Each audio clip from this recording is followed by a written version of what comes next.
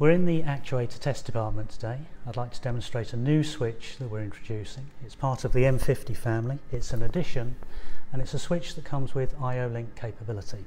Before I demonstrate this though, I'd just like to show how a standard solid state switch is typically fitted onto a cylinder. So we slide it into the groove on the profile barrel, slide the switch along until it reaches the position of the magnet, at which point an LED comes on. Typically a mark is made on the barrel to indicate that first switch in position. Continue to move the switch until the yellow LED signal is lost. A second mark is made on the barrel and then the switch is pulled back and is locked off and the installer is happy that that is the optimum switch position.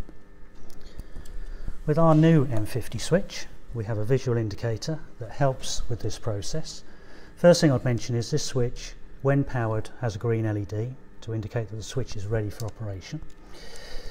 So as before, we slide the switch along and as we get towards the position of the magnet, a yellow LED will begin to flicker to indicate that we're at the edge of the switching bandwidth.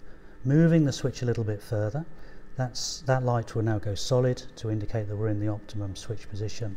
That can now be locked off and we'll get a good signal. So there are two benefits with this switch. The first is we have a green LED to indicate that the switch is powered and ready for operation. And secondly, we have a yellow visual indicator that tells us that the switch is in the optimum position for sensing, but also it enables the installer to fit the switch much more quickly than the traditional solid state switch.